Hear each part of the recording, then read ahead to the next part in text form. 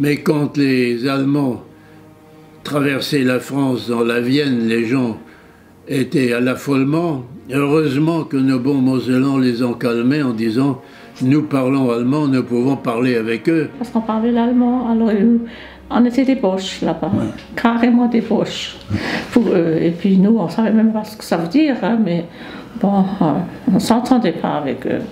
Alors forcément, à Verrières, on a encore, euh, à l'ombre du monument mort, quelques mauvais souvenirs de l'Allemagne. Et la langue qui est qui sert, qu'utilisent les, les Mosellans, eh bien, elle est mal perçue. Elle est mal perçue de la part des, des, euh, Verriérois.